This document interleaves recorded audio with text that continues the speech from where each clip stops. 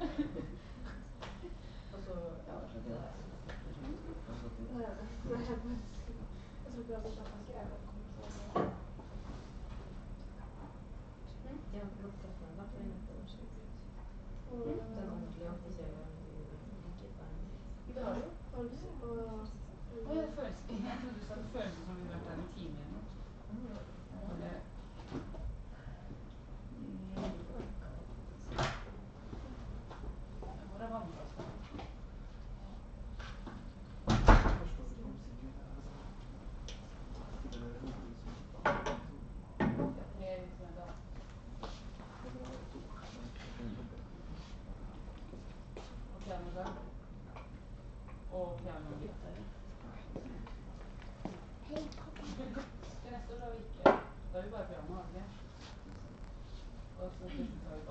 skal ha Hei, alle sammen. Hei. Hanna, du kan egentlig bare gå og komme deg til. Velkommen til Ytringsfrihetsdagene i, på Skien bibliotek 2017, dag tre. Ungdomsforedrag. Eh, bakgrunnen for eh, at eh, Ja, jeg kan ta litt praktiske ting først. Nødutganger. Det er der det kom inn, og så er det bak skjermen her. Det går an å springe ut der hvis du skulle kjempe. Ja, det hoppet vinduet. Um, kan bare si den filmer ikke. Hvis du skal filme. Jo, han gjør det. Han er bare litt forsinka. Ja. Eh, for det var det neste jeg skulle si. Eh, dette blir livestreama, eh, så derfor så kom nå eh, håpetvis alt med, som vi sier. Og så eh, er det do nede under trappa der, Eh, hvis du trenger da. Og så skal jeg si da at eh, grunnen til at vi har ytringsfrihetsdager på, Skien bibliotek for tredje ganger, tredje år på rad, det er da at eh, vi er jo fri by for forfulgte forfattere i Skien. Det vil si at vi er tilknyttet et internasjonalt nettverk som heter ICORN, International Cities of Refuge Network. Eh, det består av eh, ca. 65 byer og kommuner i hele verden, egentlig, over store deler av Vesten, og til og med Mexico og Pittsburgh i USA, eh, som tar imot forfulgte ytrere, som vi sier. Det kan være journalister, karikaturtegnere, mange av de, forfattere, eller f.eks. For forleggere, som da Tutule, som er den aktive fribyforfatteren i Skien nå. Vi har tatt imot fem stykk. Eh, Tutul er fra Bangladesh, fra Dhaka. Han, der var han den viktigste eh, forleggeren i landet, egentlig. Han ga ut over 1000 bøker. Eh, og eh, Men eh, er òg en fritenker og ateist og hevder sine synspunkter rundt det. Og eh, resultatet ble at han ble angrepet av islamister som kom med machete og gikk etter. Han klarte så vidt å overleve. De trodde han var død, men han klarte å overleve og kom hit til Skien for å få trygghet her sammen med familien. Så vi lager ytringsfrihetsdager i forlengelsen av det engasjementet der for disse forfatterne. Eh, og så er vi opptatt av at eh, dette er noe som er viktig både for unge og for gamle og for alle. Så jeg er veldig glad for at vi nå skal få høre tre ungdommer som er engasjert i sånne spørsmål, som skal fortelle oss om eh, ulike ting. Det første som skal på, er Hanna Galdal, som skal snakke om eh, Nelson Mandela og situasjonen i Sør-Afrika. Mm. Vi må bare se at vi får det til å virke. Den er bare så skal vi sitte. At det kommer en gang.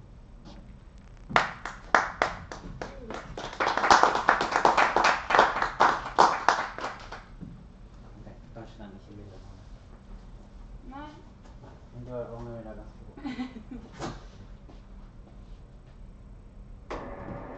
Da skal vi av på, så kommer den. Ok. Er du av på? Nei, ikke du. Ikke jeg? Ja. Å, ja.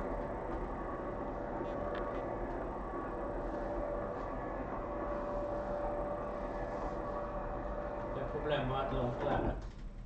Det tar lang tid før det er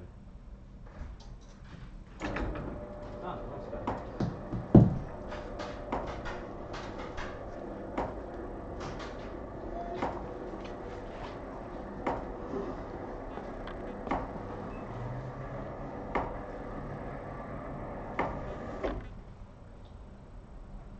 Den komme nå, liksom? Ja. Det kommer nå. Det skjer i hvert fall et eller annet. Oi sann. Der. Sånn. Oi, der var det lyd i hvert fall. Hei til dere som er her. Jeg heter Hanna Galdal, og jeg er 16 år gammel. Og jeg går på musikklinja på Skien videregående skole.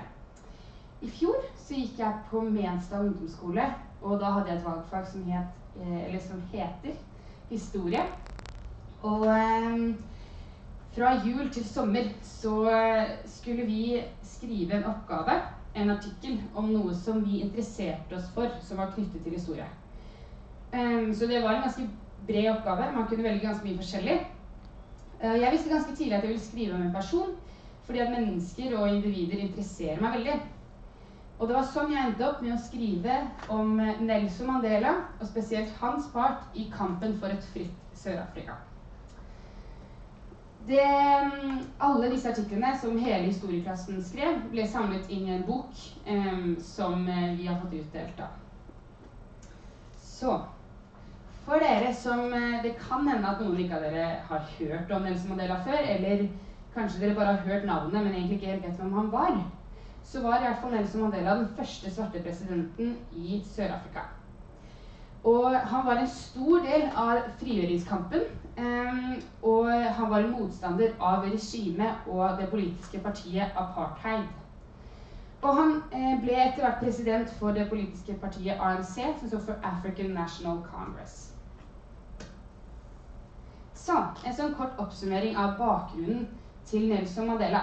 Han ble født inn i en liten landsby som heter Mesebo i Sør-Afrika den 19. juli 1918. Han het egentlig Rolilala, som betyr i overført betydning bråkmaker. Men han fikk et nytt navn av læreren sin, eh, Nelson Mandela, som vi kjenner han som i dag. Når han ble litt eldre, så eh, flyttet han til Johannesburg for å ta utdannelse. Og han ønsket å utdanne seg som noe mer enn faren sin, f.eks. Eh, så, han, så han valgte å ta utdannelse som advokat. Han fikk jobb i et eh, advokatfirma, og det var også i Johannesburg at han møtte sin første kone, Evelyn Wace. Evelyn Wace eh, var en svært religiøs eh, dame, og Mandela var veldig opptatt av frigjøringskampen. Og derfor så Etter hvert så skilte de litt lag og gikk litt forskjellige veier. Så de giftet seg og skilte lag etter 14 år ekteskap. Det var også i Johannesburg at Mandela først kom i kontakt med noen fra ANC.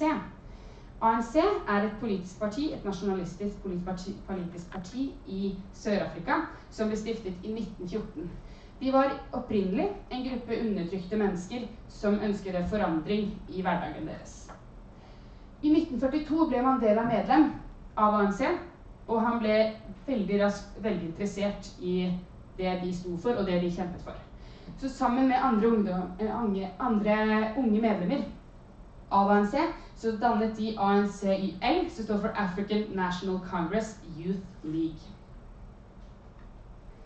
Motstandspartiet av ANC, eller det de kjempet mot, eh, er apartheid. Mange kjenner det som et regime eller som en ideologi, men på den tiden så var det også et politisk parti som var ganske kjent i Sør-Afrika. De kom til makten i Sør-Afrika rett etter andre verdenskrig i 1948. Og apartheid det eh, betyr egentlig atskilt, rett og slett. De promoterer undertrykkelse, eh, eller de promoterte undertrykkelse av enkelte mennesker for hvordan de var født, eller hva slags hud de hadde, eller hva slags evner de hadde. Og de hadde bl.a. Hitler som forbilde. Og de brukte sosialdarwinisme og eugenikk som promotering for det de sto for og kjempet for. Sosialdarwinisme det er egentlig et utdrag av Darwins theory.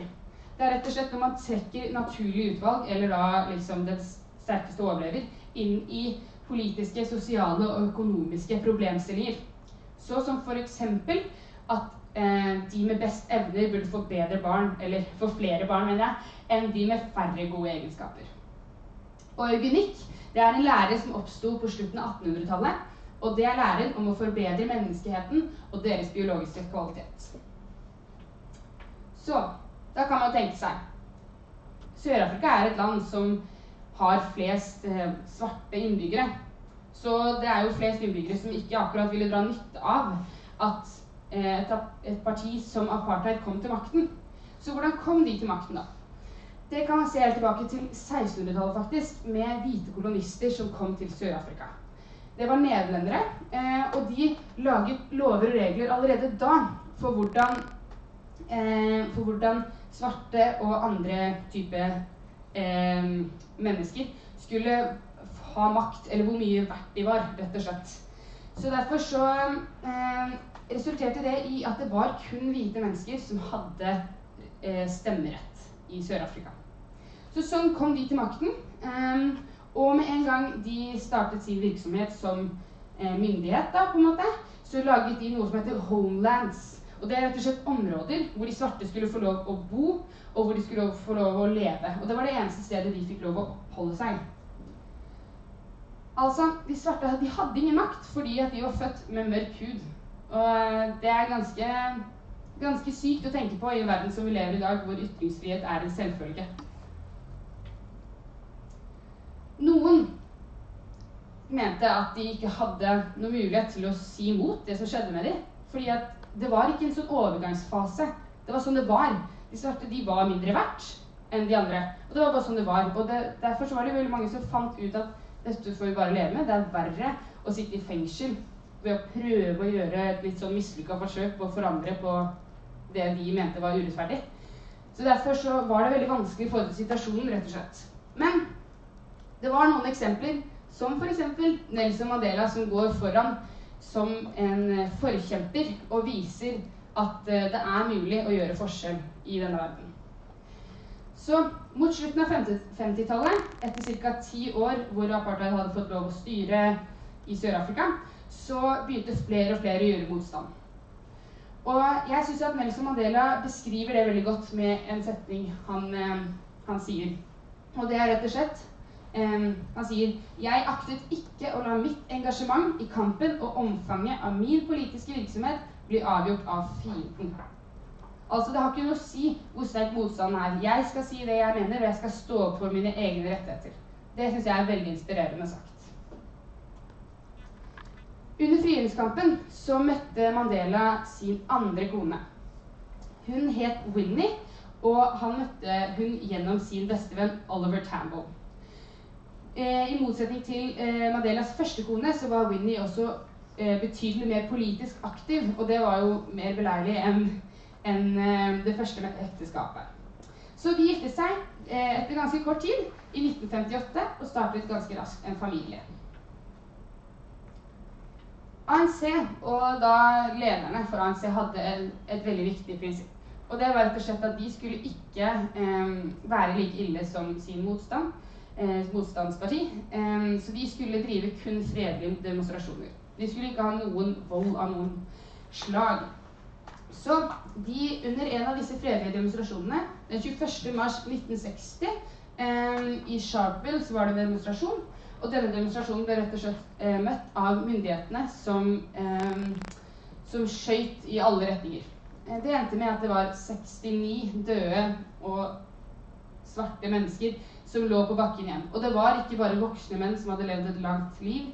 Det var barn, det var ungdom, det var kvinner, det var enda mindre barn, og det var eldre. Det var utrolig urettferdig, rett og slett.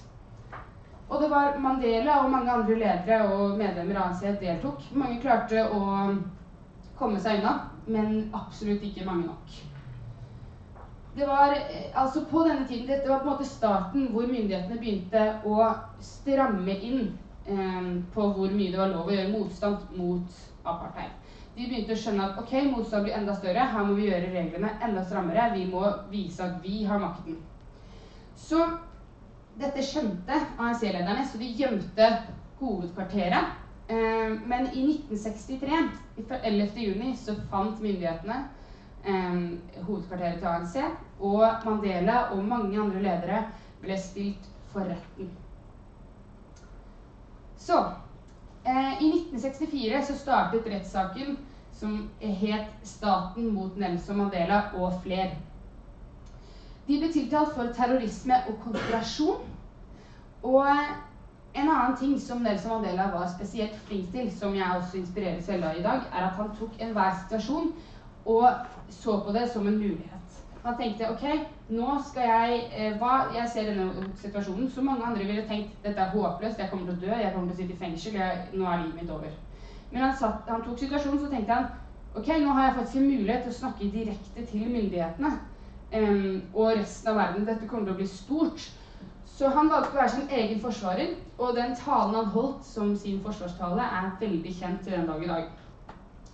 En setning han sier eh, som jeg syns eh, beskriver situasjonen veldig godt, eh, er Hvordan kan jeg som et svart mann ha en rettferdig rettssak med hvite dommere, hvite anklagere og en lov laget og vedtatt av hvite?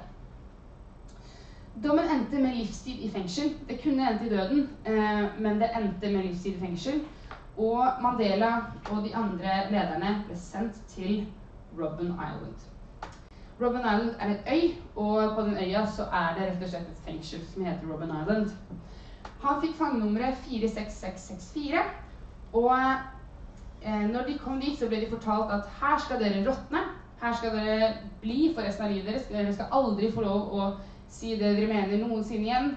Og dere, dere skulle ønske at dere heller hadde fått en dødsstraff enn å være her. Så var ganske, vilkårene var ganske harde.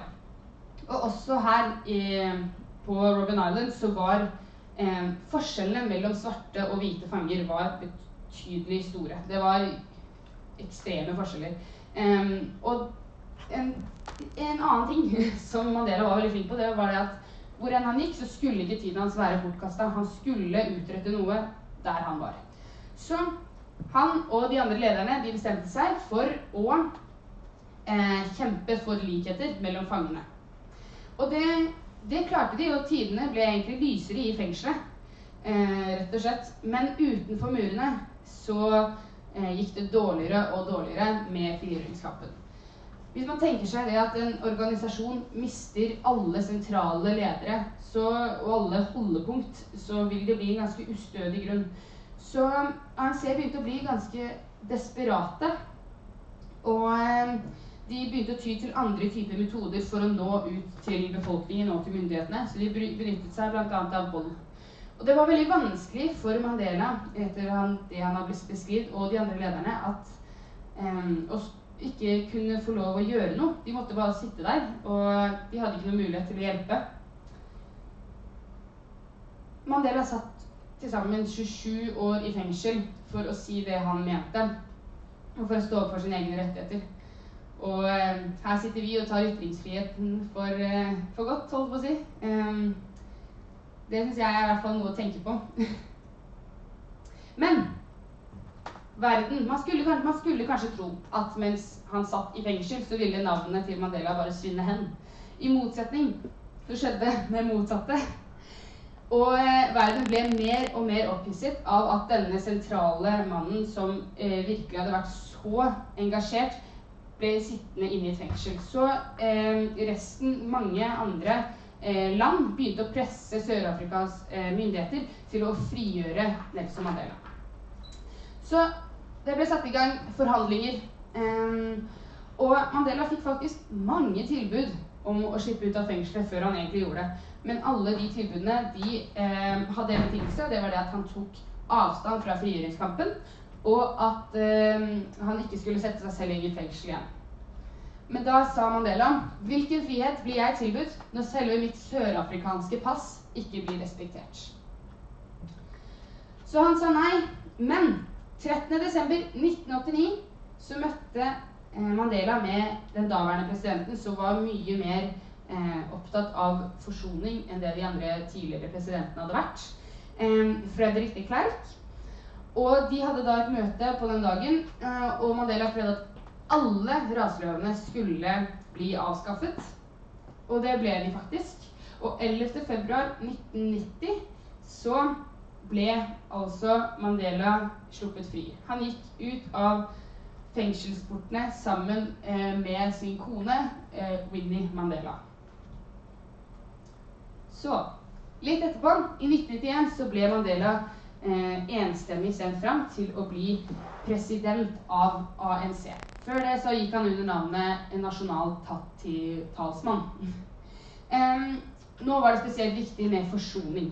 Eh, fordi at eh, ANC gikk mot lysere tider. Det var på vei til å bli et demokrati i Sør-Afrika. Men det var utrolig viktig at nå skulle det ikke bare bli et land som var styrt av svarte, hvor de hvite liksom nesten måtte rømme fra hjemmene sine, for det var så mye hat og så mye eh, gammel hevn. da. Nå var det veldig viktig at det skulle bli et demokrati, og det innebar også at de hvite var like mye verdt som de svarte og hadde like mye grunn til å ha alle, alle muligheter osv. Så, så i 1993 så vant Mandela og Fredrik de Klerk Nobels fredspris for forsoning av Sør-Afrika. Og 10. mai 1994 så var det duket for nytt valg. Og ANC vant med Nelson Mandela i spissen. Og Mandela kunne offisielt kalles for den første svarte presidenten av Sør-Afrika. Fem år etter så gikk Mandela av, og eh, Tabo Mbeki tok over for ham. Under presidenttilværelsen til Mandela så skjedde det mange forandringer i Sør-Afrika. Blant annet så ble det en halv million nye boliger bygd. Det var fem millioner barn som fikk mat på skolen. To millioner familier fikk strøm og vann. Og det ble gratis helsetjenester for gravide og småbarn. Og det ble også mye lettere for andre mennesker å få tak i helsetjenester. Etter at Mandela kom ut av fengsel, så var det vanskelig og det var komplisert fordi at Åssen skal man ta igjen 27 år med tapt familietid, f.eks.? Um, så Mandela og Winnie, Nelson og Winnie hadde rett og slett vokst fra hverandre. De hadde blitt to forskjellige personer. De var nesten 30 år eldre siden de sist fikk lov å leve sammen. Um, så de skilte lag eh, ganske tidlig etter at Mandela kom ut av fengsel. Men hvem skulle tro at Nelson Mandela fant kjærligheten igjen før han skulle dø? Han fant kjærligheten sammen med Graza Marcel. Jeg vet ikke helt hvordan han uttaler det navnet. Eh, men de giftet seg i hvert fall i 1998. Av sine næreste så ble Mandela beskrevet som en mye roligere mann. Han var, eh, og han tok avstand eh, fra politisk aktivitet og var mye mindre å se i mediene. Den 5. 5.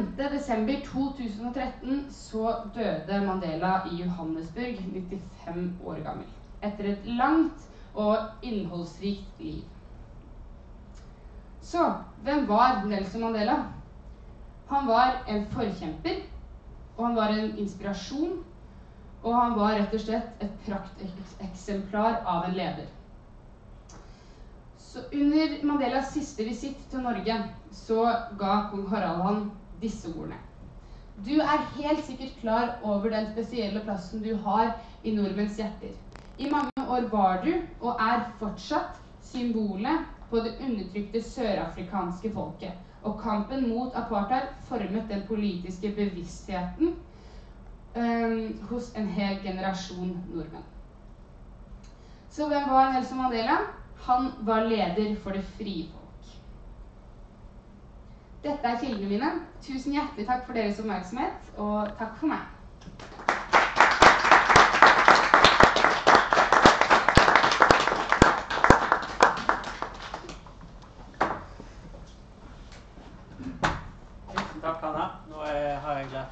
kjempemasse på veldig kort tid.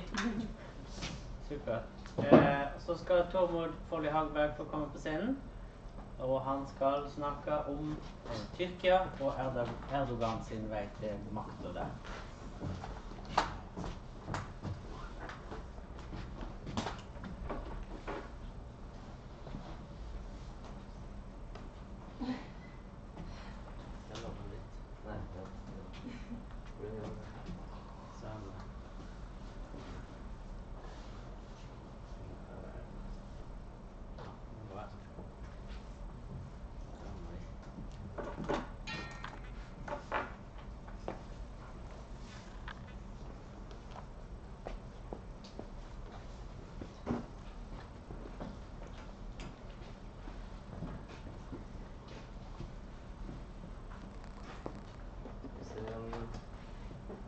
Der, ja. Hei. Tusen takk for kjempefint foredrag, Anna. Det var veldig fint. Har du skru på en knapp? Ja. Det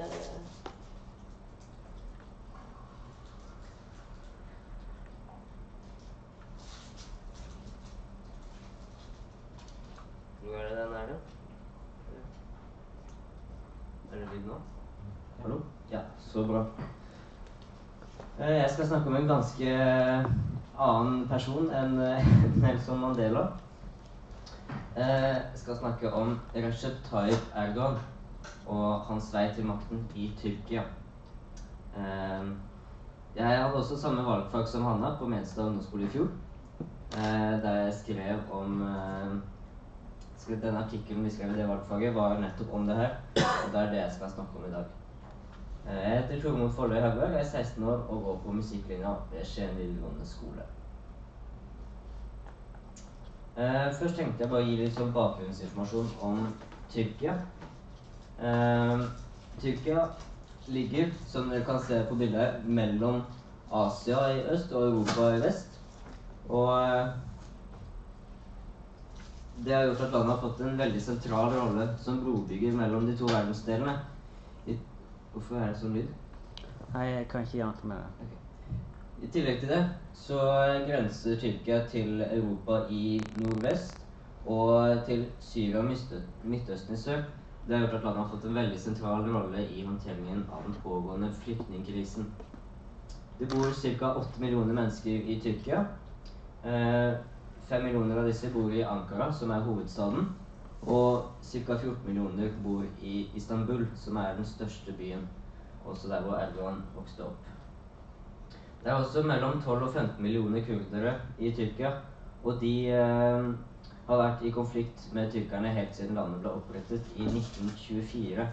I 1980 så brøt det ut en borgerkrig i Tyrkia eh, og mellom tyrkerne og kurderne. Det er krig som fremdeles pågår. Når det kommer til religion, så er det stort flertall av muslimer i Tyrkia. Det er mer enn 99% av befolkningen er eh, muslimer. Som sagt så ble Tyrkia opprettet i 1924. Og det ble opprettet som et sekulær republikk der hæren sto veldig sterkt. Um, det var fordi at det var hæren som hadde makten i området på den tiden. Det var ikke en uh, det var ikke en stat som passet for folket, siden som jeg sa, så det, er det veldig mange muslimer i Tyrkia. Og det å da ha et absolutt, skille mellom religion og stat, det var egentlig ganske spesielt på den tiden i det området. Men eh, det var en avgjørelse som da ble tatt bak lukkede dører. Og som eh, Det ble en del av nasjonens identitet da, å holde absolutt skille mellom religion og stat. Mustafa Kemal heter mannen som eh, har fått æren for Tyrkias opprettelse. Han fikk senere tilnavnet Atatürk, eh, som betyr landsfaderen. Eh, og han døde i 1938. Nei, 1934, unnskyld. Men eh, partiet han grunnla, satt med makten helt fram til 1950. Og siden det har eh, landet hatt veldig stor politisk uro. Dagens Tyrkia er veldig veldig annerledes fra da Atatürk satt ved makten. Eh, det er mange av de demokratiske prinsippene som blir undergravd. Journalister fengsles, og TV og presse blir sensurert. Eh, det er mye mer autoritært. Og for øyeblikket er det faktisk ingen land som har flere journalister i fengsel enn Tyrkia. Motstandere av det nåværende regimet blir avsatt fra stillingene sine og mister jobbene sine. Og eh, det ligner nesten ikke lenger på et demokrati. Den 16. april i år så ble det vedtatt grunnlovsendringer ved en folkeavstemning eh, som eh, gjorde at presidenten i Tyrkia, som da er Erdogan, fikk utøvende makt. Han fikk sitte makten fram til 2029, og eh, statsministerposten ble fjernet, og maktfordelingsprinsippet ble fjernet. Dette skjer i en tid da Erdogan allerede er ansvarlig for grove brudd på menneskerettighetene. Og hvordan i alle dager kan han ha støtte av flertallet i befolkningen etter alt han har gjort? For å finne svar på det spørsmålet tror jeg vi må se litt på Erdogans tidlige liv og politiske karriere. Recep Tayyip Erdogan ble født den 26. februar 1954 i strøket Keshirpasa i Istanbul. Han hadde en far som var veldig streng og autoritært, og ble angivelig utsatt for vold i oppveksten. På fritiden var han stort sett på fotballbanen eller i moskeen, og han ble etter hvert veldig god i fotball. Noen ganger når han skulle hjem fra skolen, så stelte han seg opp i en gammel båt og talte til en tiltenkt folkemasse. Og Allerede i ung alder så utviklet han den karismatiske og barske personligheten som han har på talerstolen den dag i dag. Erdogan ble som sagt veldig god i fotball, og drømmen hans var å bli profesjonell fotballspiller. Men eh, faren hans hadde andre planer. Han eh, ville at Erdogan skulle ta utdanning, og han ble tvunget til å studere. Etter hvert ble Erdogan veldig politisk aktiv. Han engasjerte seg i islamistiske bevegelser. Og eh, etter hvert også i det islamistiske velferdspartiet. I 1985 ble han valgt til partiets leder, og det gjorde store fremskritt under Erdogan. Eh, I 1994 så vant partiet lokalvalget i Istanbul. Og Erdogan ble dermed ordfører han ble faktisk den første islamistiske ordføreren i Tyrkias største by. Han satt som ordfører i fire år, fra 1994 til 1998, og på denne tiden så fikk han utrettet veldig mye. Han fikk på plass et velfungerende renovasjonssystem og vanntilførsel, kollektivtrafikken ble bedre, og generell infrastruktur ble bedre. Og han gjorde endringer i samfunnet som befolkningen merket. Så han var, samtidig som han var en veldig sterk lederskikkelse, så var han en mann av folket. Dette gjør han ble veldig populær. Suksessen som ordfører ga grunnlaget da for karrieren som fulgte. Men så skjer det noe i 1997, så er det militærkupp i Tyrkia. Og eh, hæren eh, forbød islamistiske bevegelser. Dette setter jo selvfølgelig Erdogan i fare. Um, og noen dager senere så leser Erdogan et religiøst dikt foran en folkemengde. Um, og da får hæren en grunn til å straffeforfølge Erdogan. Han blir eh, tatt og blir nødt til å tre av som ordfører. Og i 1999 så blir han dømt til ti måneders fengsel. Dette gjorde at han naturligvis fikk et veldig dårlig forhold til hæren. Og så kan man spørre seg, da Tiden i fengselet da fikk Erdogan masse tid til å tenke og utvikle ideene sine og lese. Og var dette et vendepunkt for ham? Det er mye som tyder på det. Fordi at eh, da han kom ut etter å ha sonet fire av ti måneder, så var det en helt forandret Erdogan som gjorde comeback på den politiske arenaen. Da han kom ut, så samlet han politikere fra alle kanter og ville opprette et nytt parti. Han, eh, det partiet han opprettet, det var et helt unikt parti. Det lignet ikke på noen andre partier som hadde vært i Tyrkia tidligere. Det var et demokratisk islamistparti som var både liberalt og vestligvennlig. Det eh, respekterte demokrati, ytringsfrihet og EU. Og det var da veldig spesielt på den tiden. Målet med dette her var å eh, samle politikere som alle var for EU, for å få i gang forhandlinger om EU-medlemskap, sånn at de kunne begrense hærens makt og innflytelse i Tyrkia. Måten de gikk fram på da de skulle opprette eh, dette partiet, var å utføre veldig omfattende meningsmålinger, hvor de så hva folket var opptatt av. Det viste seg at eh, rettferdighet, trygghet, sikkerhet og økonomisk vekst var det som var viktigst for folk flest. Derfor kalte de partiet for AKP, som består for Rettferds- og utviklingspartiet. Nok en gang hadde Erdogan lyttet til folket og tatt hensyn til hva folket mente. Det gjorde at han ble veldig populær. Og så, bare ett år etter at partiet ble stiftet, så vinner de faktisk valget i Tyrkia. AKP vinner valget, og dette gjør at Erdogan blir statsminister. De får 34% av stemmene, men de får også rent flertall i nasjonalforsamlingen. Dette var veldig spesielt, fordi det ble det første partiet i Tyrkias historie til å kunne styre alene. På denne tiden var Tyrkia i en stor økonomisk krise. Eh, banker i konkurs, og hele systemet ble undergravd av massiv korrupsjon.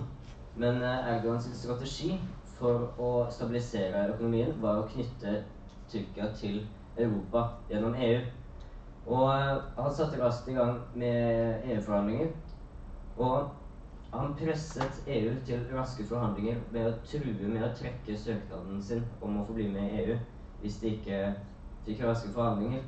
Og dette er et handlingsmønster som kjennetegner Erdogan. Vi har sett mye av det i nyere tid. Hvis han ikke får det som han vil, så truer han forhandlingspartnerne sine med noe som er verre enn å ikke godta de tilbudene som han har. Det er noe av det som har gjort at Erdogan har fått så mye makt som han har den dag i dag. Men EU-medlemskap det var gunstig, ikke bare for Erdogan og AKP, men for alle sammen. Alle hadde en grunn til å bli, bli medlem av EU. Fordi, eh, som jeg har sagt, så er det stort flertall av muslimer i Tyrkia.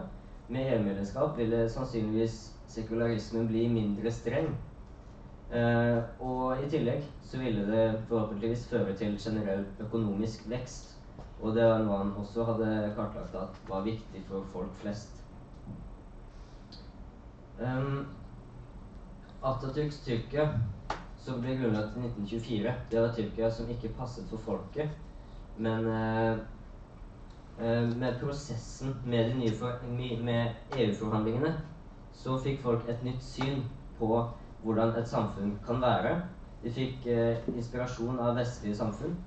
Og EU-medlemskap var en viktig sak, men selve den prosessen er kanskje enda viktigere fordi at eh, nå fikk den tyrkiske befolkningen et helt nytt syn på eh, tyrkisk politikk og hvordan det kunne være. da. Nå øh, hopper jeg ca. ti år frem i tid.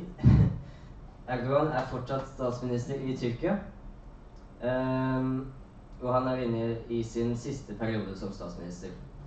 Han har blitt mer autoritær, og han har begynt å handle åpenlyst udemokratisk ved å fengsle offiserer i hæren. Uh, han beskyldte de for å konspirere mot staten. Og det skjedde etter urettferdige rettssaker som ikke gikk for seg på riktig måte. Bevis ble fabrikkert, og ja, det var ikke Ting foregikk ikke som de skulle.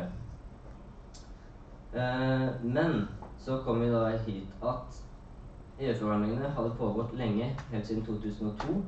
Det hadde ikke ført til noe som helst, og Angela Merkel, rikskansleren i i Tyskland. Og Niklas Sarkozy, som president i Frankrike, var helt tydelig på at de ville ikke ha Tyrkia med i EU. Dette visste Erdogan å bruke til sin fordel. Og eh, nå fikk han en unnskyldning til å si til det tyrkiske folket at Europa og Vesten, de vil ikke ha oss. Bare se hva Angela Merkel og Nicolas Sarkozy sier. Det er opp til oss å klare oss selv. der Vesten vil ikke ha oss, så nå kunne han ty til det nasjonalistiske, autoritære og islamistiske. Samtidig ble han stadig eh, røffere mot liberale AKP-medlemmer. Og han delte Tyrkias befolkning i to leirer. Enten så var det med Erdogan, eller så var det mot han. Så kom vi til et vendepunkt i tyrkisk politikk i 2014. Fordi Erdogan kom med et forslag om å rive ned eh, Gezi-parken i de sentrale delene av Istanbul, som er eh, et av de siste grøntarealene som er igjen der. Han ville erstatte det med et stort kjøpesenter. Dette møtte stor motstand, og en gruppe miljøaktivister eh, utførte fredelige demonstrasjoner i Gezi-parken.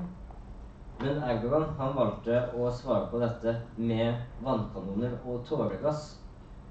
Eh, og dette vakte stor oppsikt i Tyrkia. Og folk over hele landet gikk ut i gatene for å vise sin støtte til miljøforkjemperne i Gezi-parken. Um, men Erdogan valgte å svare på dette med å si at disse handlingene, som ikke lenger er demokratiske, men ren vandalisme og fullstendig ulovlig, må opphøre umiddelbart. Dette var et vendepunkt i tyrkisk politikk fordi at nå ble det helt tydelig at det var bare én forhandlingspartner i tyrkisk politikk, og det var Erdogan. Tyrkisk politikk var Erdogan. De ville ikke kunne få et velfungerende demokrati så lenge Erdogan satt med makten, når han reagerer på fredelige demonstrasjoner på en måte som det her. I 2014 så blir Erdogan ferdig med sin siste periode som statsminister. Samme år skal det velges ny president. Det har lenge vært tydelig at uh, Erdogan ville sette uh, presidenten i sentrum for sitt nye Tyrkia.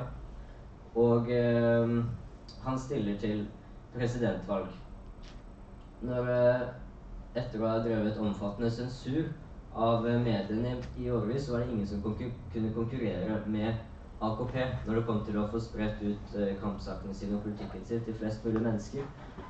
Da er det kanskje ikke så overraskende at Erdogan blir valgt til president.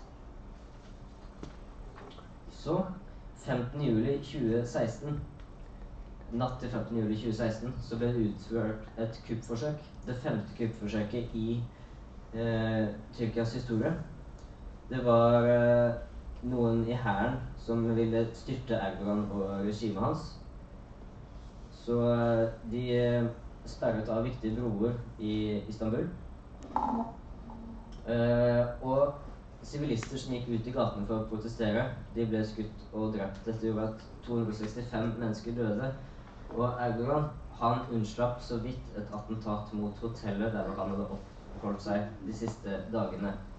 Senere den natten så dukket han opp via et videoanrop på en telefonskjerm i et ny nyhetsstudio. Og han oppfordret befolkningen til å gå ut i gatene og støtte ham. Det gjorde at han vant tilbake kontrollen litt utpå formiddagen Eh, og da beskyldte han en parallellstat som opererte på ordre fra Fetullah Gulen i USA for å stå bak forsøket. Fetullah Gulen er en eh, leder av et religiøst brorskap i, eh, i Tyrkia. Men han bor nå i USA fordi han har gått i eksil etter eh, konflikter både med hæren og med Erdogan. Så kom vi til 16. april i år. Da ble det vedtatt grunnlovsendringer ved folkeavstemning som gjorde at presidenten fikk utøvende makt, maktfordelingsprinsippet ble fjernet, statsministerposten ble fjernet, og Erdogan fikk nærmest ubegrenset makt fram til 2029. Disse endringene skjedde ved folkeavstemning, eh, så flertallet ville altså dette. Og det syns jeg er veldig rart med tanke på at Tyrkia skal være et demokrati. Og de ser at han har brutt menneskerettighetene gang på gang. Så hvordan kunne dette skje? For å få svar på det Eller for å Først så tenker jeg det er viktig å huske på at Erdogan har opparbeidet seg en tillit eh, hos det tyrkiske folket.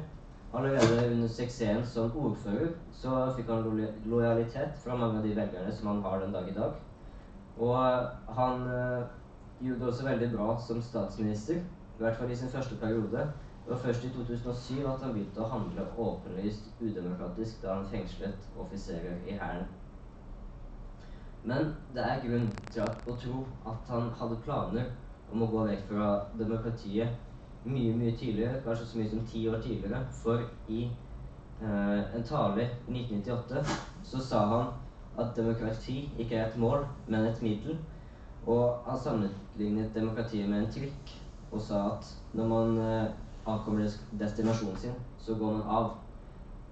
Og eh, dette syns jeg er veldig skummelt, for det tyder på at det har aldri vært Erdogan intensjon å ha eh, Eller å få et stabilt og sunt demokrati i vestlig forstand. Eh, men han brukte det for å komme til makten.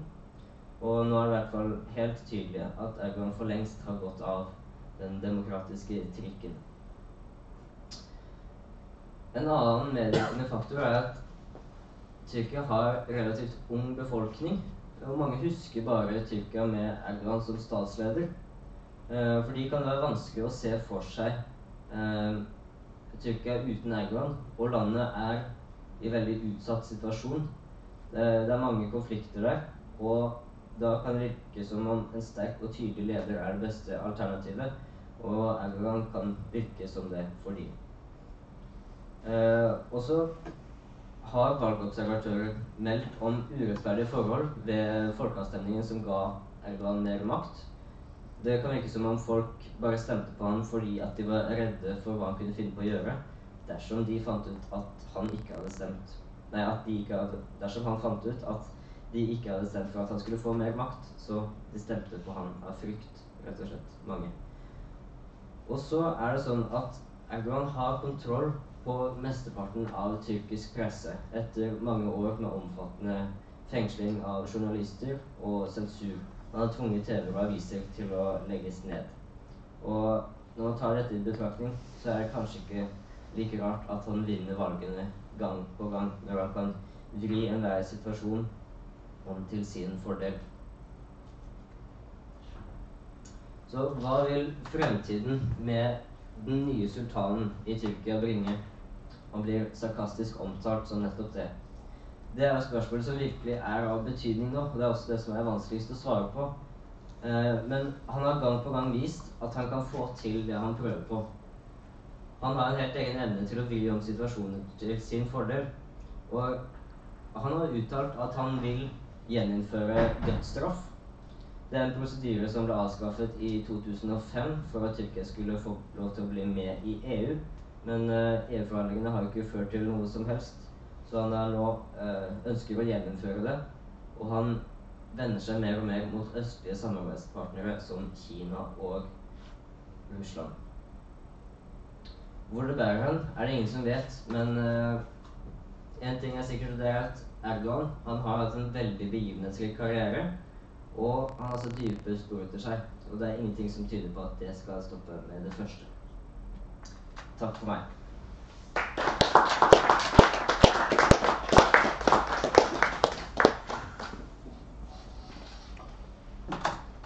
Tusen takk til deg for det skremmende foredraget, egentlig.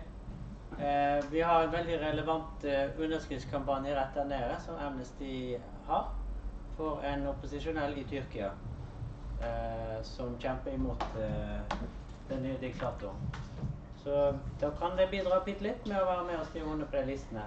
Det er òg ei liste der eh, for en menneskerettsbekjemper som jobber for eh, rohingya-folket sine rettigheter i eh, Ehm, ikke jo, i Myanmar. Ehm, og naboland til Bangladesh. Så da er det Mari Engen sin tur til å komme fram her. Hun skal snakke om med et historisk perspektiv på ulike syn på homofili. Takk.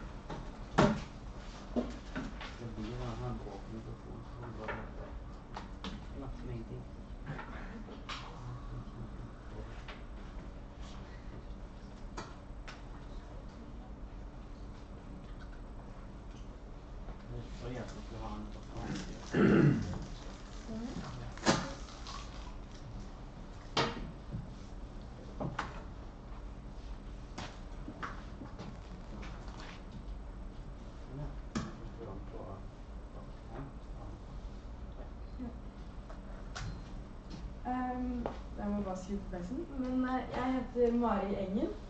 Uh, jeg er 15, og jeg hadde jo da også historie valgfag på Menstad ungdomsskole i fjor. Um, og da skrev jeg den her stilen. Den, da skrev jeg en stil om homofili da, i historien og i forskjellige samfunn. Og når jeg skrev stilen, så hadde jeg ikke egentlig ytringsfrihet som direkte tema.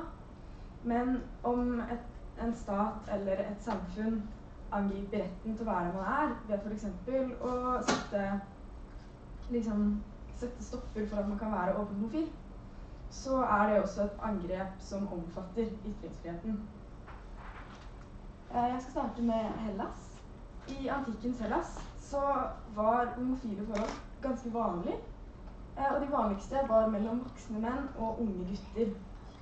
Eh, ekteskapene var også aldersbasert, hvor det var, gjerne var en 30 år gammel mann og en jente i tenårene.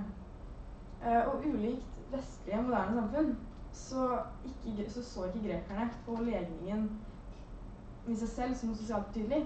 Men det var mer rollen du hadde i forholdet. da. Og da var det én rolle i forholdet som var sterk og voksen og gjerne maskulin. Eh, og det var en annen rolle som var svak og ung og gjerne feminin. da. Og fordi det var så viktig for grekerne at menn skulle opprettholde maskuliniteten sin, eller ha sterk maskulinitet, så var forhold mellom to voksne menn veldig sett ned på, og det var sterkt eh, det var sett som veldig problematisk. da. Eh, I rundt år 300 før vår tidsregning så var det en spesialstyrke som het Tebens hellige bande. Det besto av 150 håndplukka eh, par med homofile menn eh, fra bystaten Teben. da. Og de kjempa i den eh, tebanske hær. Som jo viser at det var ganske akseptert når du kunne ha en egen hær bare for det. Fordi eh, grekerne trodde veldig på at det å ha forhold i hær eller militærstyrker styrka veldig kraften på det du kunne kjempe med. da. Eh, og dette bildet er fra ca. år 550 før Kristus, og det er en ung mann og en tenåring. Og det er fra, det er fra Hellas. I Russland eh, så skal homofili ha vært relativt vanlig i middelalderen. Eh, det ble da sett på som en synd av den ortodokse kirke. Men det var ikke noen regler imot det fra statens side. Utenlandske folk som besøkte Russland i tiden, rundt 1600-tallet i hvert fall, har snakka om at, har skrevet at de ble veldig overraska over de åpne homofile forholdene uh, i alle klasser. Uh, de første forbudene mot homofili kom på 1600-tallet under styret til tsar Aleksis Mikhailovitsj. Uh, da var det ulovlig å være homofil, og homofile menn ble drept, og homofile kvinner ble brent til døden. I 1716, eh, under styret til tsar Peter den store, så ble det ulovlig å være homofil i hæren. Og det var begynnelsen det her var begynnelsen på at staten stoppa homofili. I 1832 så kom det lover mot visse um, seksuelle handlinger blant homofile, eller mellom homofile menn. da, ja. Uh, og det het artikkel 955, og den kunne bli straffa med at man ble sendt til Sibir i fire til fem år. Men det var i få tilfeller at denne straffen egentlig ble brukt. Uh, når Sovjetunionen ble underlagt i 1922, så forkasta kommunistpartiet alle de gamle lovene om homofili. Da var det lovlig i Sovjet, men i noen uh, territorier som tidligere var en del av det russiske imperiet, var det fortsatt ulovlig. Under Lenins styre uh, fra 1930 til 1924 så var det lovlig å være åpen homofil i militæret. Uh, men i 1933 ble det ulovlig igjen, og man kunne igjen bli straffa med fem års hardt arbeid. etter Stalins død ble synene på seksuell, seksualitet mer åpne, men det var fremdeles ulovlig. Eh, det er antatt at ca. 800 til 1000 menn ble straff, straffa for homofile handlinger årlig. Men det var ikke så mye i stridene som kom etter Stalin. Eh, homofili ble mye tydeligere i eh, Sovjet, eller Russland, under styret eh, til Mikhail Gorbatsjov, og hans, når han hadde sin glasnost-policy. Fallet av Sovjet og press fra Europarådet gjorde at lovene som tidligere hadde gjort homofili ulovlig, ble fjerna. Og det var da artikkel 121 som bildet her viser. Eh, I 1999 så ble homofili ikke lenger sett på som en mentalsykdom i Russland. Eh, og det er det jo ikke nå heller. Men det er fortsatt ikke ulovlig å diskriminere mot homofile. Eh, og det er heller ikke lov å forsvare homofile rettigheter offentlig. Eller påstå at homofile forhold er like mye verdt som heterofile forhold. Eh, hvis du gjør det her, eh, så kan russere bli bota for blir, blir bøtelagt 755 kroner. Og offentlige offiserer kan bli bøtelagt ti ganger så mye. Hvis man ikke er fra Russland, så kan man bli arrestert i 15 dager og så deportert. Og i tillegg måtte betale 15 000 kroner. Eh, det er jo ganske ekstremt bare for å foreslå at homofile forhold kan være like mye verdt eller like bra som heterofile. Eh, og det bildet er fra en homofil eh, nattklubb eller disko eh, i 1993, når loven artikkel 121 ble fjerna. I Kina så ble homofili ansett som ganske normalt. Og i enkelte tilfeller ble det også idealisert og sett opp til. Det finnes kinesisk litteratur fra Liu Song-dynastiet som sier at på 200-tallet var eh, homofili nesten like vanlig som heterofili i Kina. Eh, det var da mannlig homofili. da. Kvinnelig homofili har ikke vært like synlig. Og ekteskap i Kina det har alltid tradisjonelt vært mellom en mann og en kvinne. Men det har aldri vært helt klare lover på det. Og taoistiske skoler, deres syn på det, var at brudd på ekteskapet var galt. Men at likekjønna forhold i seg selv ikke var et problem. Under Tang-dynastiet begynte noen forfattere å skrive negativt om homofili, og det var grunnet innflytelse fra både islam og kristendommen. Og det er ganske usikkert når et negativt syn på homofili ble veldig utbredt i Kina. Mange tror det er enten mellom Tang eller i Tang-dynastiet eller pga. vestlige innflytelser på 1800- og 1900-tallet. I Storbritannia eh, er, var, ble homofili først gjort ulovlig i år 43, når romerne erobret Storbritannia og gjorde ekteskapsbrudd mellom menn ulovlig. Ekteskapsbrudd var da et ord for homofile handlinger og mye. Eh, I år 342 så var det de kristne keiserne Konstantius, Konstantius 2. og Konstans som innførte dødsstraff for menn som gifter seg som kvinner, altså menn som gifter seg med andre menn. Og i 1533 så gjorde kong Henry den åttende det ulovlig. Uh, han gjorde det ulovlig med sodomi, og det inkluderte da uh, homofile handlinger. Og det kunne straffes med døden. I lederne etterpå, kongene, de endra og fjerna og gjeninnførte disse lovene flere ganger. Men de, kom, de var der. De var der lenge. Kong James brøt litt med det her. For på 1600-tallet så hadde han tre veldig offentlige, veldig kjente romantiske forhold med tre forskjellige menn. Eh, og to av dem ble utdelt veldig gjeve titler pga. det her. Den ene var George Villiers, eh, og han ble utnevnt til jarl, jarl, jarl av Country og hertug av Buckingham. Og han ble da den personen utenfor kongefamilien med mest makt eller høyest rang i England. Og disse forholdene de var vel kjente, men de ble ikke straffa eller gjort noe med. Og det kan jo være fordi det var kongen selv som hadde disse forholdene. Eh, I um, 1724 til 1726 var det en dame som het Margaret, Margaret Clapp. Hun drev et kaffehus i London, som var et tilholdssted for homofile. I 1726 ble dette her eh, kaffehuset gjennom, gjennomsøkt, og tre personer ble hengt som følge av det her, og flere ble straffa. Eh, den siste personen i England som ble henretta for sodomi, var i 1835. Og senere så har det også vært en del tilfeller om homofili som har blitt straffa eller lagt skjul på. Um, Oscar Wilde ble satt i fengsel i to år for å ha et forhold med noen.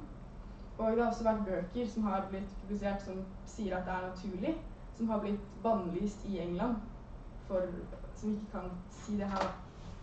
Dette bildet er en illustrasjon uh, av det man beskriver som en molly. Og det var et begrep brukt om homofile da, på 1700-tallet i England, eller Storbritannia. I dag er det mye mer generelt akseptert uh, syn på homofili. Men det er fortsatt ti land hvor det å være homofil kan straffes med døden. Og det er 65 land som enda har noen form for restriksjoner på, det, på legning eller homofili. Så det er fortsatt en veldig lang vei igjen å gå.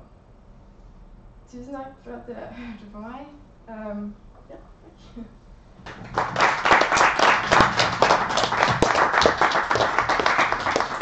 takk for det.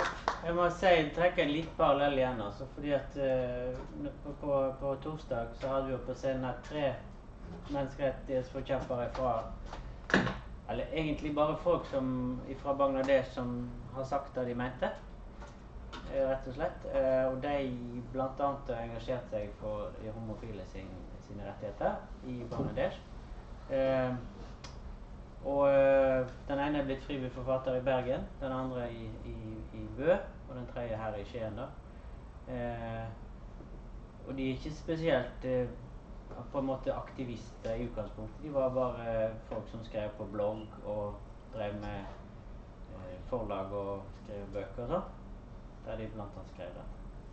Så, så det, det, er veldig stor forskjell i verden i dag òg på hvordan dette blir sett. Eh, da har fått sånn fint bilde der. Jeg vil gjerne at alle tre skal komme fram igjen, og så må dere klappe etter jeg kommer tilbake. ok? Jeg bare henter noe.